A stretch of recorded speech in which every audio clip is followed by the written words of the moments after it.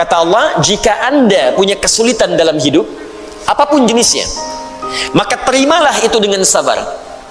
Lalu mintakan solusinya kepada Allah. Logika sederhananya begini. Kalau bapak ibu ada kesulitan tentang perihal tertentu, maka anda kan akan mencari pakar untuk menyelesaikannya. Handphone rusak, perginya kan ke tukang handphone kan? Servis di situ. Motor ada masalah, pergi kemudian ke bengkel. Baik, fisik ada masalah, pergi ke dokter. Jelas ya?